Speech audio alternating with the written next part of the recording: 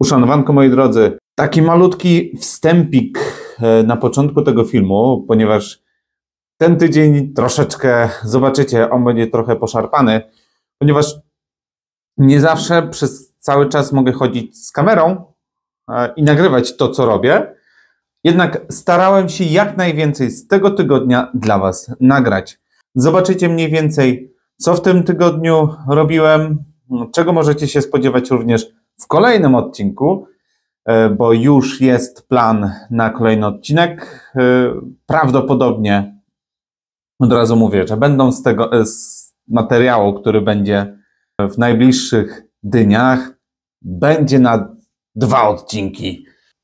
Także szykujcie się na całkiem sporo ciekawej treści. A na tą chwilę, żeby nie było, że nie ma nic Kowalskiego, to są kleszcze. W tym tygodniu mniej będzie kucia, więcej będzie przygotowywania się do festiwalu, który jest za kilka dni. Także ja Was serdecznie zapraszam do oglądania.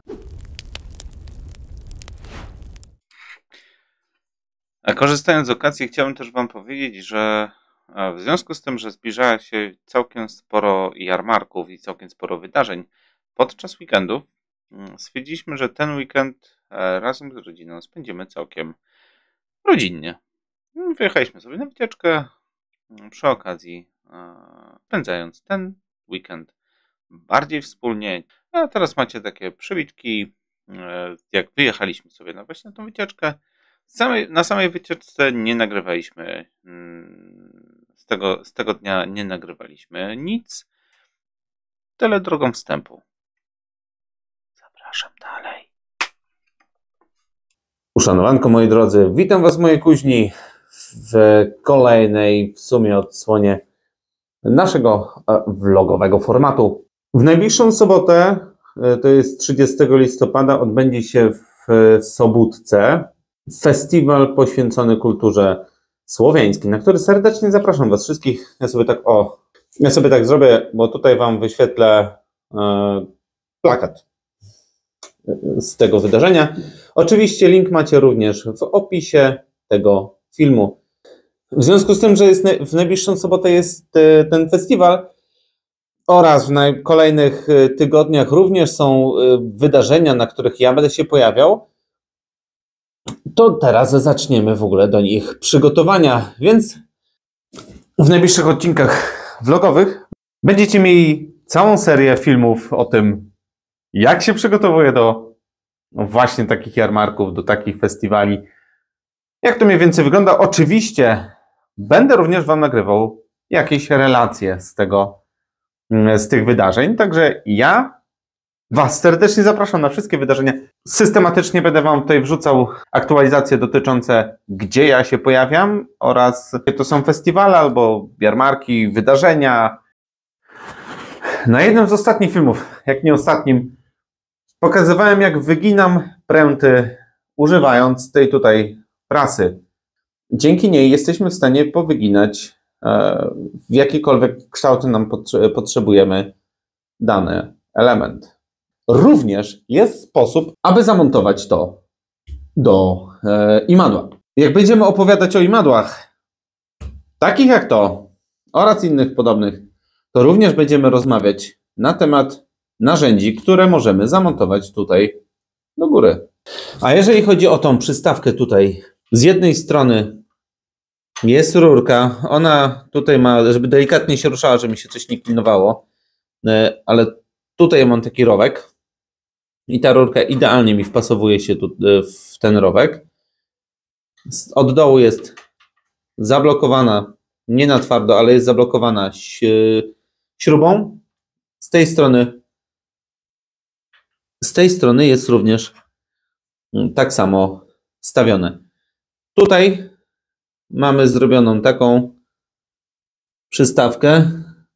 Z jednej strony ma pręt okrągły, z tyłu, z tyłu jest taka płaska, bo mogę zamontować sobie i w ten sposób oraz również mogę zamontować ją o 90 stopni obróconą, co daje mi dużo możliwości tutaj do wykorzystania tej prasy. I zaraz zobaczycie też na jakimś prostym pręciku, jak to wygląda.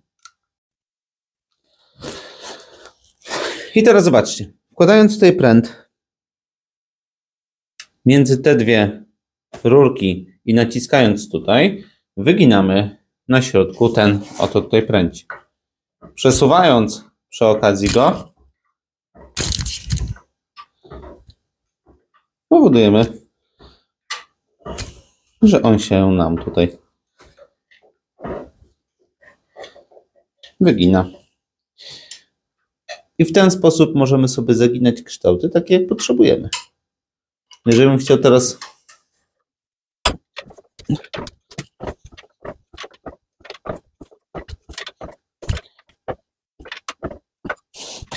możemy sobie zrobić, wykorzystać tą pracę do właśnie zagięcia takich oto oto detali.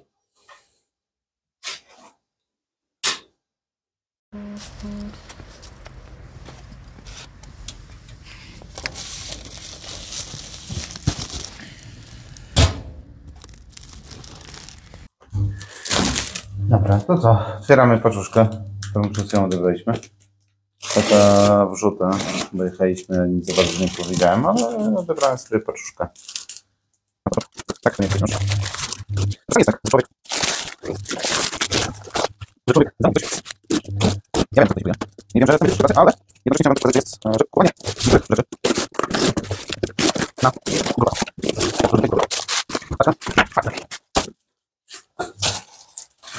Jestem muzykantem, konszabelantem. Dobra, i tutaj będzie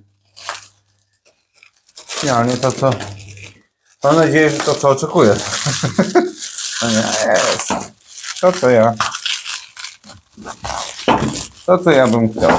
Czyli zakupiłem dokładnie sześć przecinaczków które będę najprawdopodobniej z Wami odświeżał. Przy okazji zrobimy sobie taki przegląd takich przecinaczków. Zobaczymy pierwszy. Pierwszy wygląda całkiem, no, że tak powiem, sensownie. Długi przecinak. Zaczął się tutaj już robić taki grzywek. Teraz sobie to wszystko zetniemy. W tym przypadku tak samo mamy tutaj dużo grzyba. Tak, zagrzybia na młotek. Zakupiony, dlatego je zakupiłem, żeby Wam przygotować w ogóle materiał e, z odświeżaniem takich młotków. Krok po kroku, na co zwrócić uwagę przy odświeżaniu takich młoteczków. Także jak widzicie, można korzystać z tych grup facebookowych, bo to akurat było zakupione na którejś tam grupie facebookowej i zakupić w fajnych pieniądzach narzędzia, które jeszcze nadają się do pracy. Jeżeli chcecie więcej usłyszeć a propos młotków i tego, e, jakie dobrać, to tutaj Wam przypnę gdzieś, nie wiem, gdzie on będzie w sumie, będę patrzył, to chyba tutaj. E, przypnę Wam tutaj kartę, w którym więcej tłumaczę na temat właśnie młotków. Więc żeby Was dłużej nie zanudzać timelapsami dotyczącymi sprzątania w kuźni, po prostu przeskoczymy do kolejnego, prawdopodobnie dnia. Do za chwilę.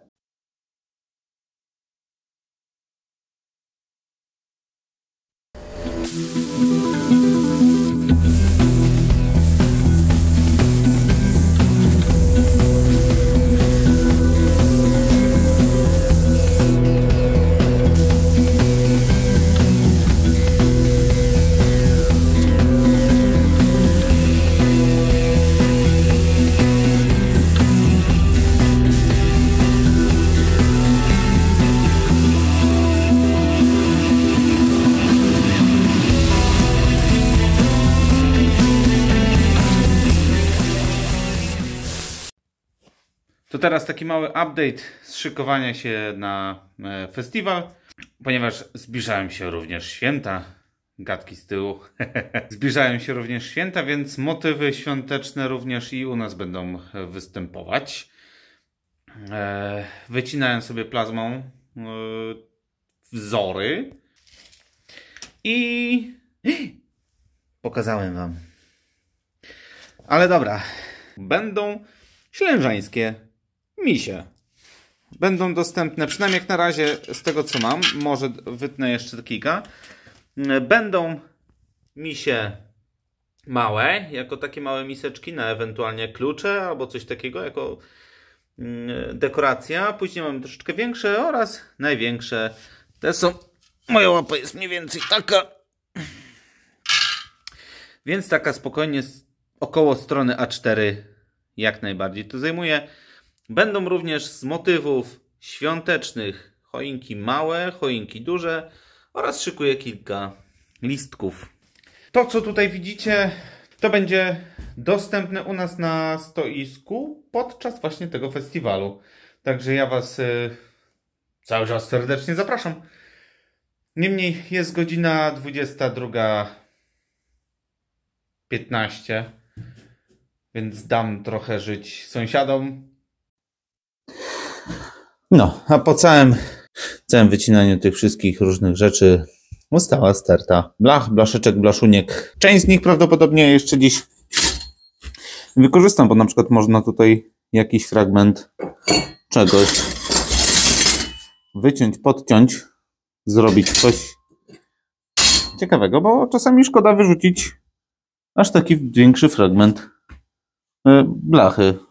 Czeka nas również sprzątania trochę. Prawdopodobnie będę sprzątał nie dzisiaj tylko na przykład e, jutro albo pojutrze, jak już będę miał większe rzeczy przygotowane. Chociaż dzieciom się tłumaczy, posprzątaj od razu, nie rób takiego bałaganu i tak dalej. A stary w kuźni sprząta później. No bo dzieciaki będą przychodzić. Tata, weź posprzątaj w kuźni, bo tu masz bałagan. Jednak ja tego bałaganu nie zostawię, oczywiście. Może któregoś razu zrobimy jakiegoś timelapsa ze sprzątania.